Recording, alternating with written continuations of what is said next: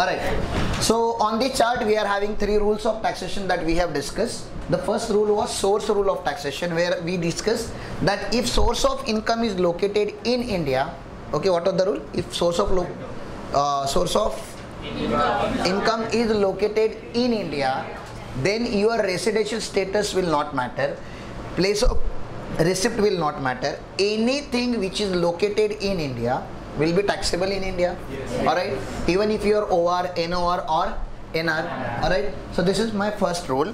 And then we discuss lot of type of income along with their relationships. Alright. Then I told you if land is the source, then crop is the income. If a tree is the source, then fruit is the income. In a similar manner, if a employment is the source, then salary is the income. House property is the source, then rent is the income. Business is the source, then profit is the income. Capital asset is the source, then capital gain is the income. Debenture is source, then interest is the income. Equity share is source, then dividend is the income. Bank account, interest. So there are different types of sources. Alright, based on that we are having different types of income. What should be located in India? Income or source? source? What is more important? Source. Mango is not important. The tree is important. If tree is in, located in India, then mango automatically becomes Indian mango. Alright. Next, receipt rule. Receipt rule is to override source rule. Alright. If source of income is outside India, okay, and you received something directly in India, then also it will become Indian income, not as per source rule. As per source rule, it is outside India. But as per receipt rule, it will be taxable in India.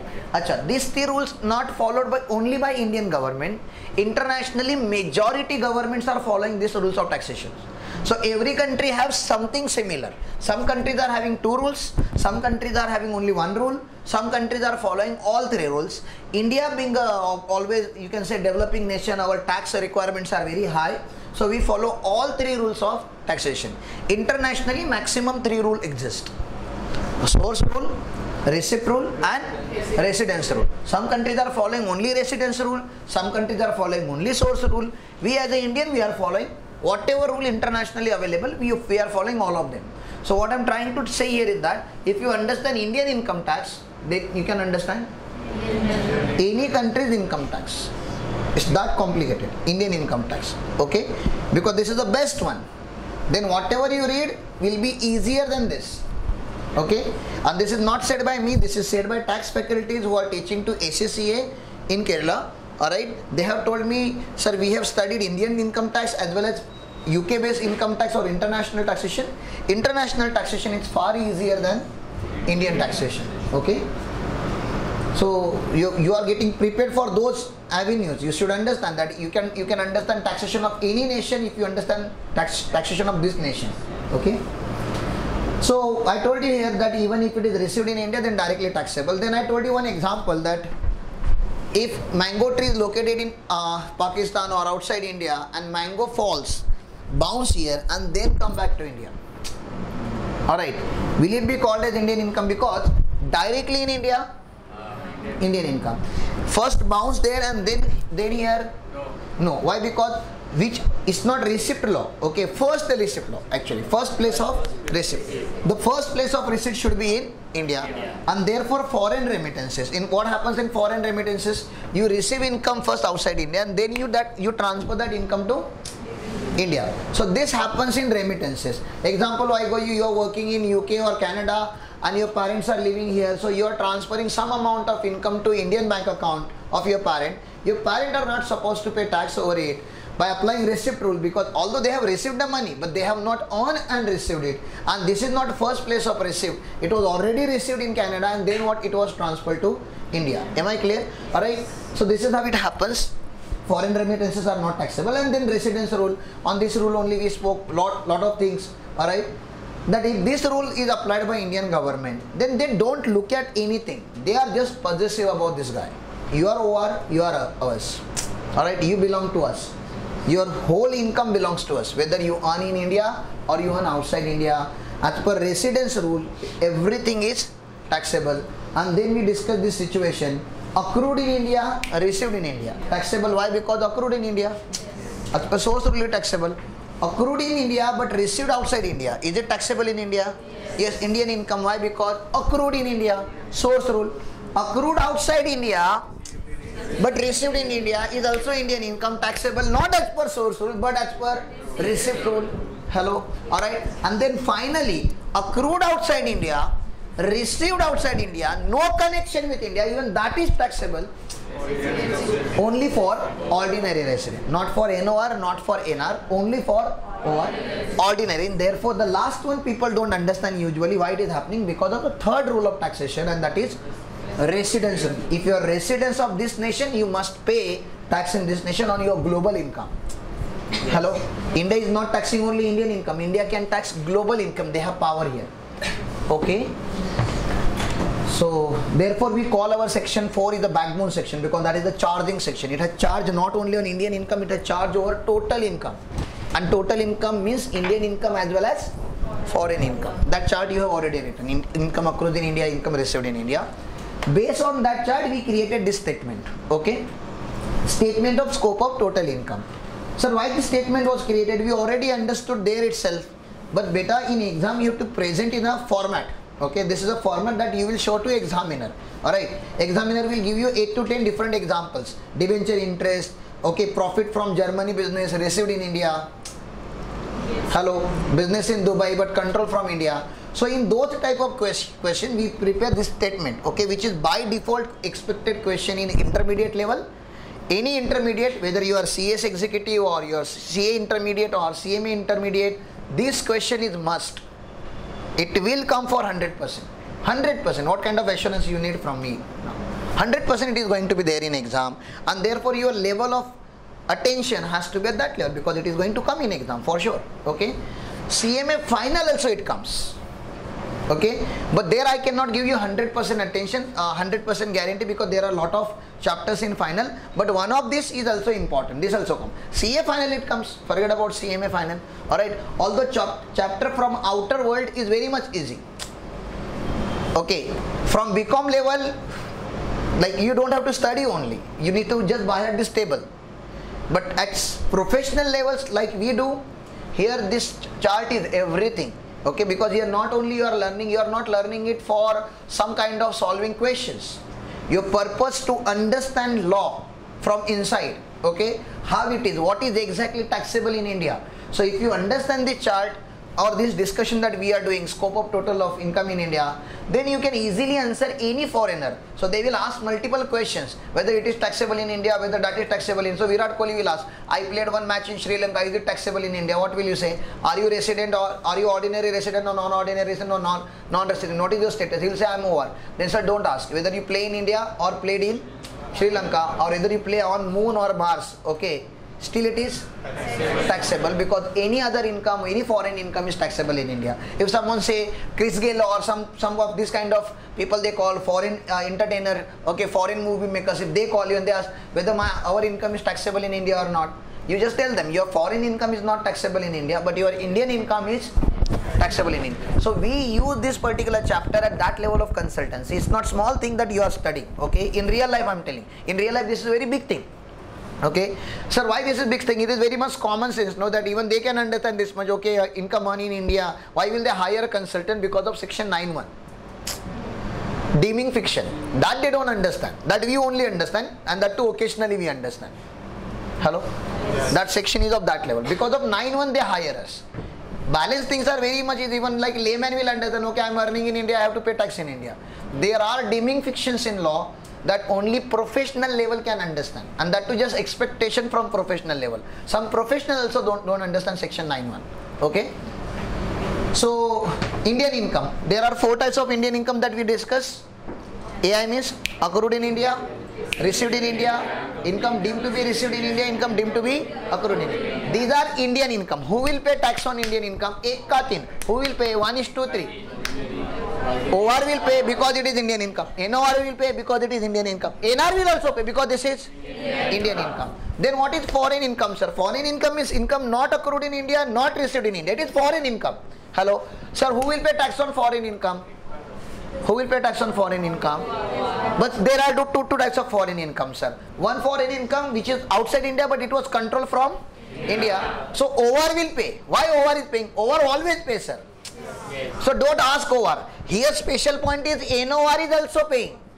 Because that business was controlled from India. You understand? This is the Vijay Mallya uncle category. They are having foreign businesses which they control from India, India and therefore business controlled from India or in case of profession I told you our I gave you our example CACS working abroad Alright, so if we are working abroad, we are Indian CA, Indian CMA, Indian CS, Indian doctors, Indian engineers, Indian architect, all these are professional, Indian lawyers, but we are working now foreign, we are handling some foreign client, foreign assignment.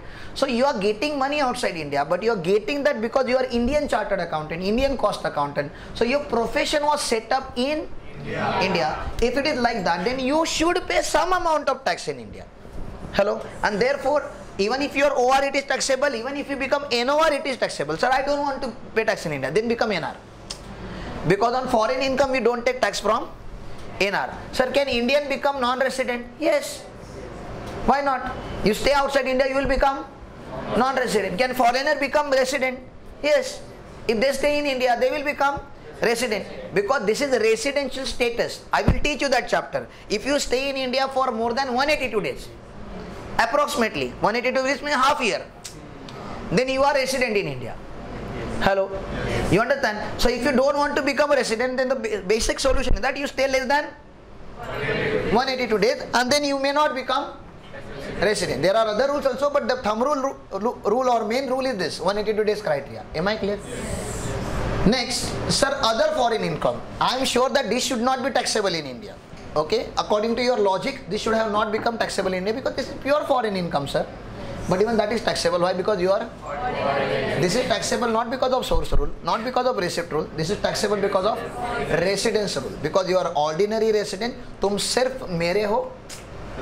This is what government is telling to our you exclusively belongs to us and we will we, we we have right to tax you people because you are ordinarily residing in India. You are in, using Indian roads. Hello. You are using Indian military systems, you are using Indian telecom sector, you are using Indian healthcare, you are using Indian agriculture, yes. you are using all Indian resources, then you should pay some amount of taxes in India. So out of these three category, who should be paying highest taxes? Come on, tell me. Who should be paying highest taxes? Ordinary resident should be paying highest amount of taxes. Who should not pay tax? Not pay. I'm saying not pay tax. Non-resident. Obviously, people who are staying outside India, they should not pay. But those people are staying outside India, but they are planting their trees in India. Yes. Then only on this tree you pay. Yes. You are having, having garden outside India. We don't want tax on that. You planted one tree here, you just pay tax on that tree. That is of non-resident. Then what is the rule of NOR, sir? Only that is difficult to understand. NOR. NOR pay tax on two income. One income you don't have to say because Indian income everybody pay tax. Yes. One additional income you pay tax. And what is that additional income? Business, foreign income but business control from India. Only that special point you should remember because balance things are obvious in nature. Indian income taxable to all. Yes. Hello. OR pay tax on all income. Yes or no? Yes. These are two to them. NR pay tax only on Indian income. Okay. Yes. This much rule you understand. So what about NOR sir? Let's talk about persons. OR pay tax on all income. NR pay tax only on Indian income. So what about NOR sir? NOR pay tax on two income. Indian income because everybody is paying and one more additional income foreign income but business control from India. Will you keep this in mind? Yes. I am not saying all those things again and again just because I don't have anything to say. I am saying because this is the only complicated area and you need to understand this at this point itself without touching any question. If you touch questions then you may get confused because question comes with a lot of combinations. Okay, at least law should be clear. Then we will try try to solve certain questions. Okay. Next. Sir, agriculture income, Indian agriculture income, who will pay tax? That income is not taxable only. Okay. So sometime in question they put twist. Okay. Agriculture income from land in Rajasthan, not taxable. Then some people say, okay, agriculture is not taxable. They, they keep it this mind. Agriculture is not taxable. Then sometimes questions will come. Agriculture income from Afghanistan. Hello. Now that is taxable. Agriculture income from Nepal, Bhutan. Hello, now that is taxable or not taxable? Taxable. We have given benefit to Indian agriculture income. The agriculture land should be in India. Then only it is exempt. Yes. If you are if you are such a rich person, you are having you are in India and you are you are doing farming in Australia, Canada, Nepal, Bhutan, then you are super person, man. You should pay taxes. And we are not looking for development of agriculture in foreign country. We are looking toward development of agriculture in Indian nation because we as Indian we are agriculture based nation. Yes or no? And therefore agriculture was. So which agriculture is in, in exempt? Indian or foreign? Indian. Indian. And foreign? But who will pay tax? Only ordinary. Only ordinary. Why? Sir, because it is agriculture income. Hello. Taxable, but foreign, sir. But still one person has to pay tax and that is ordinary resident. Okay. Sometimes they will say capital receipt. Loan taken by the assessee. Now loan is not an income. Money will be credited to bank, bank account, but loan is not income. Because it is not an income, how can you put it in my total income column? Alright, sometimes they will say assessee received gift from father, 2 lakh rupees. Not taxable. Yes. Gift from father because it is a capital in nature, it is not taxable.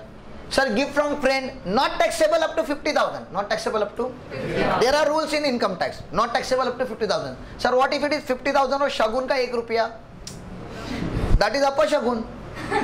Shagun ka 1 rupiya will, will make whole 50,000 and 1 rupee taxable. If 50,000 cross, whole 50,000 rupees will become taxable. Whole amount become taxable. That is the law. Sir, what if I receive gift on marriage day? Marriage day again not taxable. So there are certain situations where gift is taxable and certain situations where gifts are not taxable. Sir, why don't you teach all of all of the situation now? Not possible because that is there in IFOS. Okay, it will take two three months lecture to reach there. All right, so we will discuss there, but general understanding you should develop from today itself. Okay. If you add income of all this here, then it will become gross total income. From gross total income, we, we provide deduction under chapter 6A. We provide deduction under chapter 6A, 80C to 80U. There are a lot of deductions we provide and the, the net amount which comes is the total income. You can guess this number will be highest among these three and that will be lowest and this is average.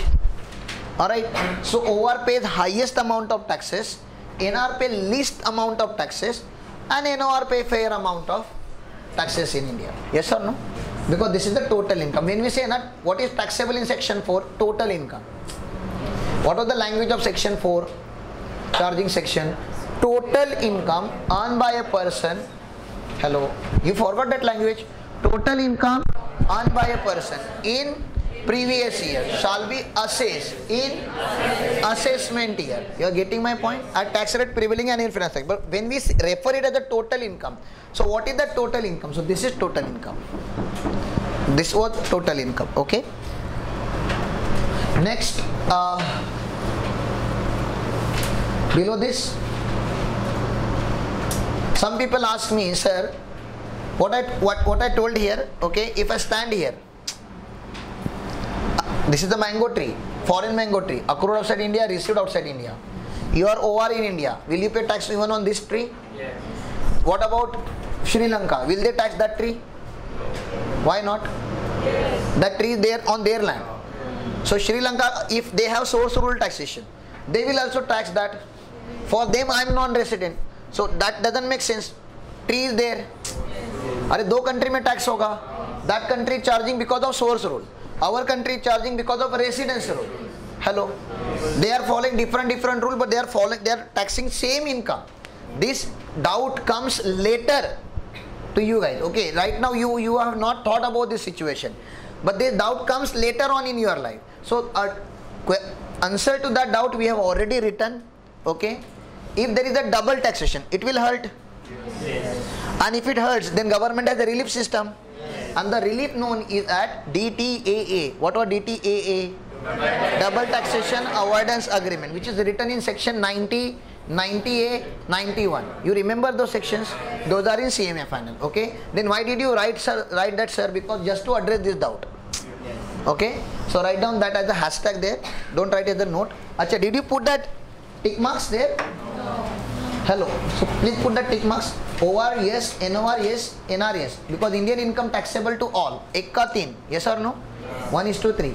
Then business control from India. This income will be taxable in two people's hand. OR NOR. NR will never pay tax on foreign income. So cross. Pure foreign income. Who will pay tax on pure foreign income? OR, only OR. NOR and NR cut. Exempt income. Who will pay tax on exempt income? No one. So cut, cut, cut. Who will pay tax on capital receipts which are not income? Nobody. Are nobody. Capital receipt. Cut, cut, cut. Then you will get gross total income. Okay, those are some amounts. Gross total income. From gross total income, what should you subtract? Deduction. So subtract negative figures. And the net amount that you will get is total income. Okay.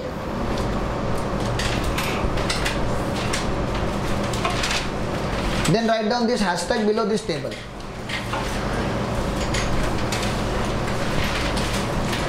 OR is liable to pay tax on global income subject to DTAA relief. OR is liable to pay tax on global income. OR is liable to pay tax on global income subject to DTAA relief.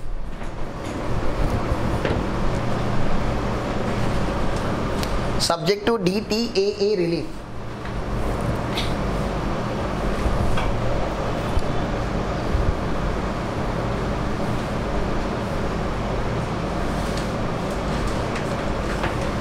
Okay. NR will pay tax only on Indian income. We are writing kind of summary of above points so that it will help you to remember in exam.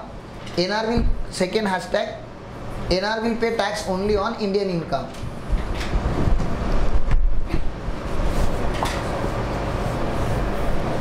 NR will pay tax only on Indian income. Next hashtag. Please understand. I am assuming that you became successful company secretary, sorry, cost accountant, and you left India permanently because you are frustrated with India. Some people of you like you are frustrated. You don't find opportunities in India, so you went to South Africa. Possibly. I don't know geographically where it is located. So anything outside India is either circle or box. Okay. So that is South Africa. You found more opportunities in South Africa, which is possible because they are also developing nation. Lot of manufacturing activities are going on. So you got good opportunity there. You got 3 lakh rupees per month salary along with perquisites and residence and many things are there. So you left India. Then you did job there for a few months successfully. Then you left a job. Hello. With a good capital, you started consultancy from there or, or tax audit from there or cost audit from there in that country. You work for 10 more years. You did not visit India anytime. You are outside India only. You are enjoying your life there. But after 10 years, something happened, maybe good or bad, God knows. And now you have to come back to India. Because India is India.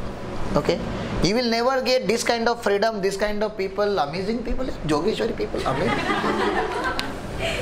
right?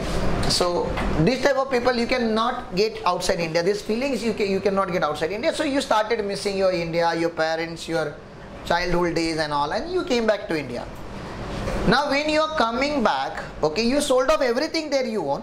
Permanently you are coming to India. Okay. Now tell me, as the government of India, shall we welcome you at airport? Or shall we discourage you at airport so that you can run away from that airport itself?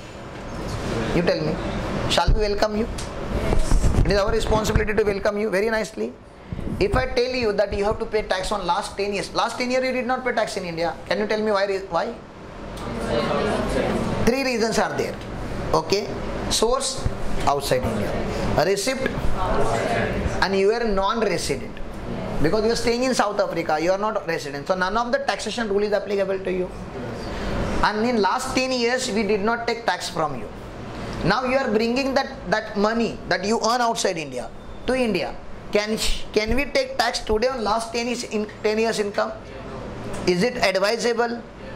Hello, will you take tax on last 10 years income now? No, you should not take. Otherwise, that guy will run from that airport itself. He will take another flight of any nation. All right, and he will not come here because if on in, on gate only, if income tax is ready with their calculation, 10 years income tax, it's not possible. And apart from that, income tax tax only previous year income in current year. In last year, income tax, tax has not taken tax because it wasn't taxable. Yes. If it was taxable, then don't think that they will leave you. They will take tax. They haven't taken tax in last 10 years because it was not taxable. Hello? You are getting my point? So it was not taxable in last 10 years, so you did not take tax. Right now that poor fellow is bringing those money in India and you wanted to take tax on all 10 years because now you captured him. It's like that. No. Therefore we say if you are bringing past, see, see the language, past, past, tax or untaxed? Untaxed. Why untaxed? Because that time it was not taxable. Untaxed. But you, what you people think? Untaxed. In past it was untaxed. So let's tax now. So this word is misleading word. You understand? So past untaxed profit brought to India during previous year is not an income of previous year, so not taxable. Hello? So it, it will come in exam. Past untaxed profit brought to India 20,000. Taxable or not taxable? Not taxable because it was not taxable in past. It is not taxable in present also. Okay, write down that as a hashtag. Past untaxed profit. This untaxed word is a misleading, misleading word. Past untaxed profit brought to India during previous year brought to India during previous year is not taxable.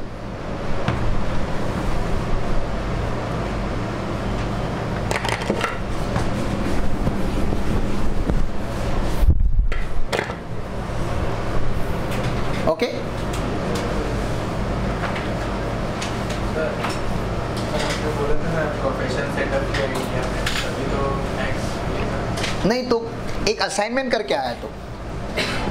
यहाँ पे तो resident ही नहीं है you are non resident that law will become applicable only if you are resident you are not residing India you left India you are outside India okay next certain capital receipts are not taxable that I told you some examples I told you ना gift receipt from relative gift on marriage day not taxable gift from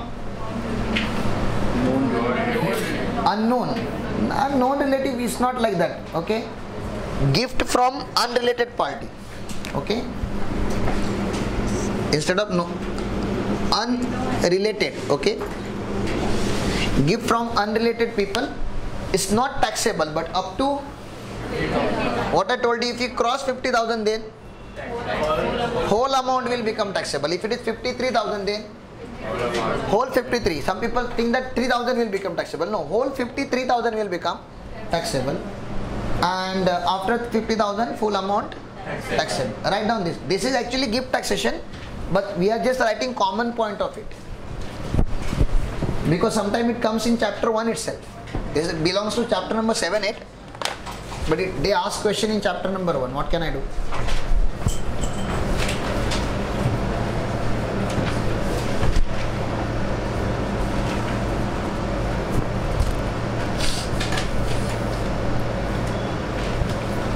certain capital receipts are not taxable. First gift received from relative. Gift on marriage day not taxable. Gift from unrelated parties dash up to 50000 not taxable.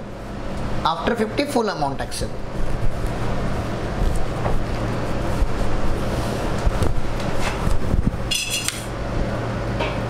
Is it visible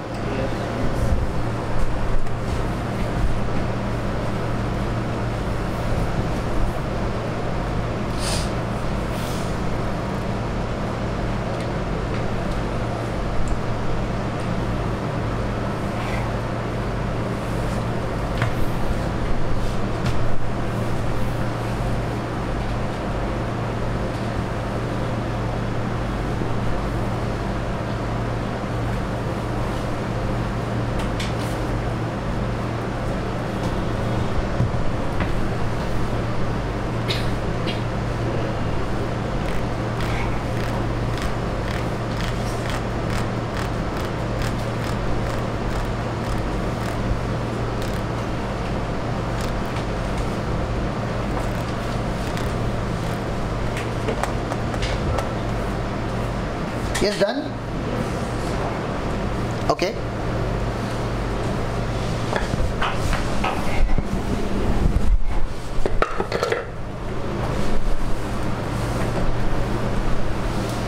Revenue receipts. Now please understand there are two separate